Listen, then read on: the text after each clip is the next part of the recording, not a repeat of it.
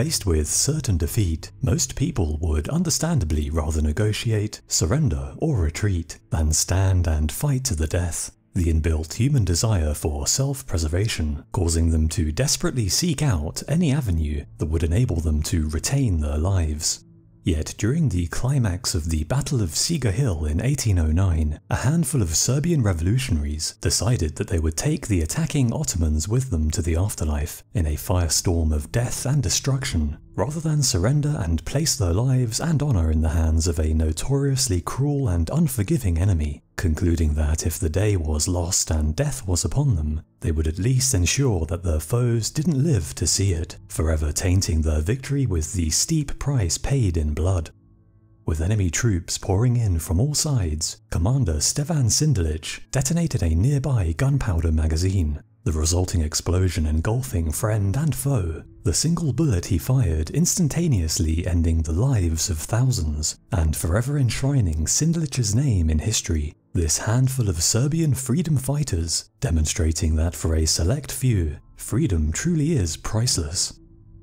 At its height, the Ottoman Empire was the preeminent superpower in the world, its borders encompassing vast tracts of land, its sultans ruling over millions of souls, and its fearsome armies time and time again sweeping aside nations from Africa to the Middle East and Europe, its banners even carried to the gates of Vienna itself, as for a time it seemed as if the entire world might be swallowed up in the empire's insatiable jaws. Yet an inescapable rule of history seems to be that all empires, no matter how mighty they might seem, are ultimately doomed to fall into decline and eventual destruction, and by the early 19th century, the Ottoman Empire was already buckling under its own weight, the years when Ottoman sultans held almost godlike power, now merely a faint memory. Dozens of conquered and suppressed nations yearned for freedom and independence, just waiting for the right moment to throw off the shackles of Ottoman domination that they had suffered for centuries. Sensing that the empire had grown weak, patriotic revolutionaries sprung up in all corners of the empire as the subjugated and resentful populations of once proud and independent nations began openly challenging the Sultan's power, realizing that the chance to free themselves from the hated overlords once and for all had finally arrived. The Balkans was one part of the empire that was especially resentful of Ottoman rule, an area of Europe home to the Serbs, a people who had for 400 years suffered under the yoke of a regime that could be unimaginably tyrannical and cruel to those who refused to toe the line. For centuries, the very idea of such a small nation ever defeating the mighty Ottomans in battle and winning independence was little more than a fantasy. However, times were changing. The Ottoman administration had become excessively corrupt and highly inefficient, the governing elites now so detached from reality that they fail to embrace the rapid technological, economic and social changes taking place in the rest of Europe as new empires rose in the west while the stagnant east fell into terminal decline.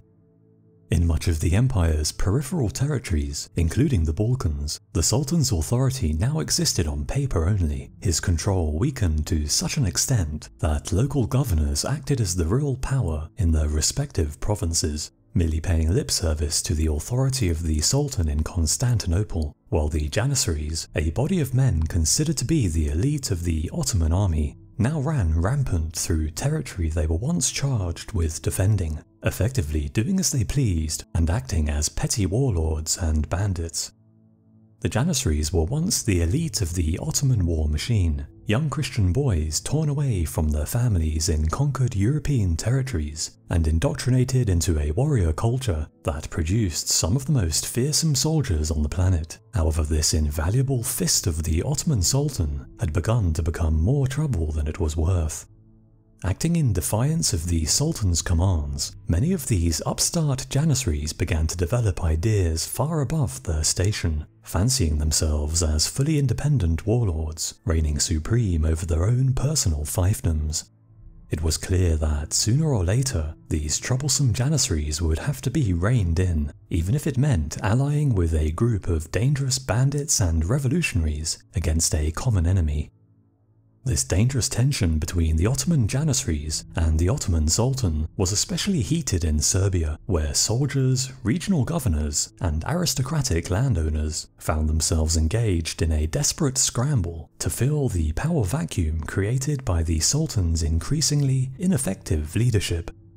Now believing themselves to be beyond the control of the Sultan and his centralized government, Janissaries across Serbia began collecting taxes to fill their own personal coffers, engaging in what was essentially unauthorized plunder and theft against the Serbian people. In 1791, the Sultan attempted to bring the escalating situation back under his control, ordering the Janissaries to cease their illegal activities and leave Belgrade, and when they refused to comply, he called on the Serbian nobility for military support. However, this new alliance failed and merely served to foster the growth of paranoia in the minds of the breakaway Janissaries, who were now convinced that the Serbs were working with the Sultan to unseat them from power and claw back their privileges. In 1801, the out of control Janissaries murdered the Ottoman governor of the Belgrade province, a popular man who had been known as Mother of the Serbs due to his light handed and fair treatment of Serbians under his rule. Taxes were raised, forced labour was imposed, and the Serbs suffered as the tyranny of the Janissaries went unchecked. Yet the Serbian breaking point would be reached three years later during an event known as the Slaughter of the Dukes, several days of violence that resulted in the assassination of dozens of high ranking Serbian nobles, a move which backfired with spectacular results. The Janissaries believed that murdering the leadership of any potential Serbian rebellion would deprive the Sultan of a powerful tool to use against them and squash any remaining resistance amongst the Serbs. However, the brutal beheading of these popular and important men merely served to enrage the Serbian population under their control. This slaughter unleashed the first Serbian uprising, as in response to this shocking violence, Serbian militias began openly attacking the Janissaries, winning several surprising victories that exposed just how weak, ill-equipped, and outnumbered the Janissary overlords were. Shocked by the wave of unrest crashing against them, the Janissaries appealed for help from the very man they had earlier sought to break away from, the Sultan in Constantinople. Declaring the Serbs to be in full revolt, they demanded assistance from the Ottoman government. However, the Sultan refused, seemingly content to let both sides fight it out. Believing that the Serbian nationalists could be controlled and harnessed for his own ends, the Sultan allowed them to wage war upon the rebellious Janissaries across Serbia, no doubt hoping that the rebels could finally destroy the men who had been causing him so much trouble. However, it soon became clear that many of these now battle-hardened Serbian revolutionaries held no desire to return to the old status quo as powerless subjects of the Sultan, with some now loudly expressing their wish to throw off the shackles of Ottoman domination once and for all. Although the Serbs had technically been fighting on the same side as the Sultan against the renegade Janissaries, the Sultan feared the Serb army's growing power, realizing that once the Janissary leaders had been defeated, the Serbs would turn on him and demand independence. Faced with a conflict that was spiraling out of control, Sultan Selim could no longer idly sit by. He officially declared the Serbs to be rebels and traitors, promptly dispatching an army to crush their uprising and restore order to the strife-ridden province. Yet the Serbs were no longer a simple ragtag band of idealists and freedom fighters, and had emerged from the conflict with the Janissaries stronger than ever, their force now moulded into a large and effective army led by highly competent commanders. The shocked Ottomans suffered a string of convincing defeats at the hands of the Serbs, who now formed their own government and set to work returning land to the people, reducing taxes, and abolishing forced labour. Serbian leaders made desperate attempts to obtain backing from other major powers. However, at the time, Europe was embroiled in the Napoleonic Wars, with no nation willing to risk making an enemy of the Ottomans, while Napoleon's armies were sweeping across the continent. The Serbs were on their own against the full might of the Ottoman Empire, a force that was unwilling to back down, no matter how many defeats they suffered. Presented with a real chance at winning back their freedom after 400 years of subjugation, thousands of idealistic patriots swelled the ranks of this new Serbian army as what was initially a minor regional dispute escalated into a full-scale war of independence. One of these fervently patriotic revolutionaries was Stevan Sinđelić, a man who had been fighting the Ottomans since the uprising began. Sinđelić proved himself to be a capable fighter and promising leader, his raw talent eagerly seized upon by the commander-in-chief of the Serbian Revolutionary Army, who appointed Sinđelić as commander of his own infantry brigade.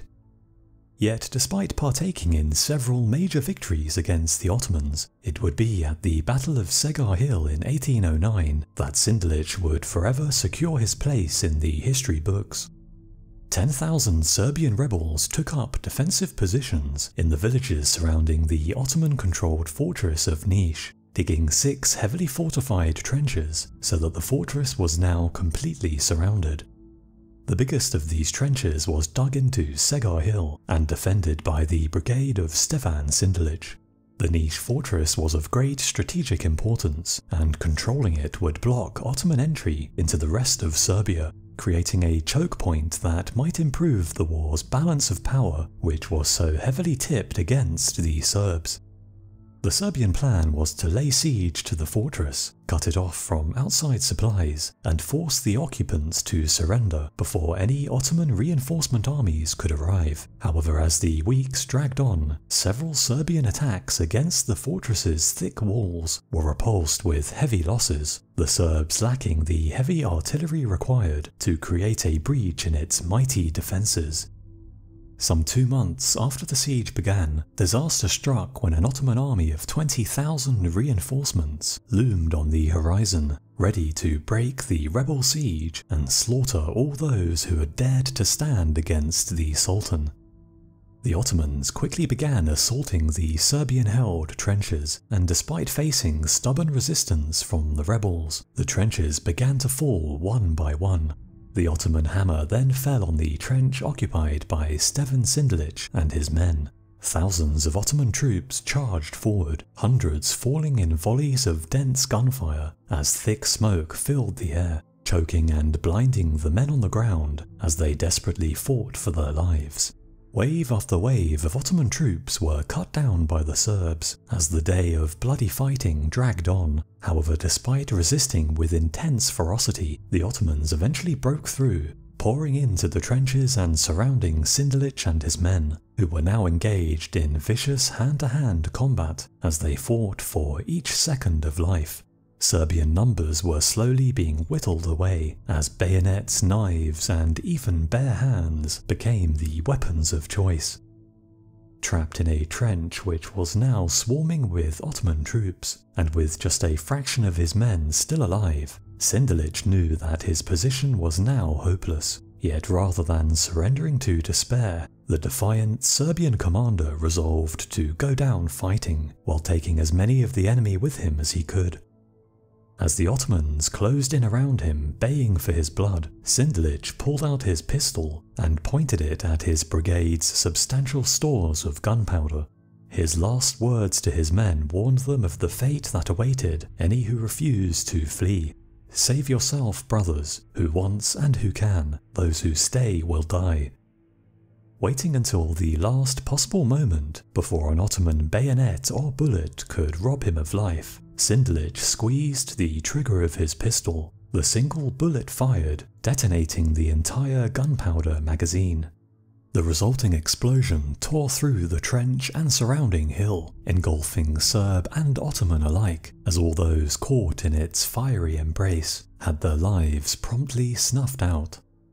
On the cusp of victory, the watching Ottoman commander Hurshid Pasha witnessed what should have been a glorious end to the hard-fought battle, transformed into a stark display of Serbian bravery, defiance, and commitment to their cause, as hundreds of his best men were torn to pieces in an apocalyptic-like scene of fire and smoke.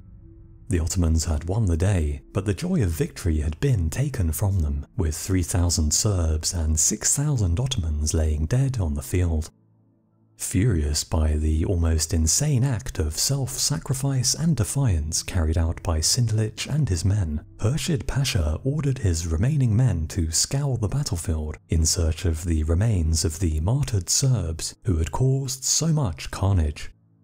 The heads of some 952 Serbian revolutionaries were removed from the lifeless corpses, skinned and then used as the building blocks for a gruesome skull tower constructed on the road to Constantinople, as a warning to locals of the fate that would await any and all enemies of the mighty Ottoman Empire. However, despite intending to intimidate and demoralize the Serbs, the giant skull tower actually had the opposite effect, causing immense resentment and serving as a highly visible reminder of the Empire's potential for cruelty, while at the same time forever keeping alive the memory of Sinđelić and his men, memorializing the valiant act of sacrifice and inspiring thousands of others to continue resisting no matter the cost motivating the Serbs to continue their struggle until independence was eventually won in 1878. In fact, the presence of the Skull Tower was so counterproductive that it was eventually removed by the Ottomans themselves, with many of the skulls retrieved by relatives and given a proper burial. However, today, 57 skulls still remain embedded within the tower, which is now housed inside a chapel the site serving as a permanent national memorial to Sinđelić and the fallen Serbs who made their last stand on the hill that day. I hope you enjoyed the video. Let me know your thoughts in the comments below, and I'll see you again soon.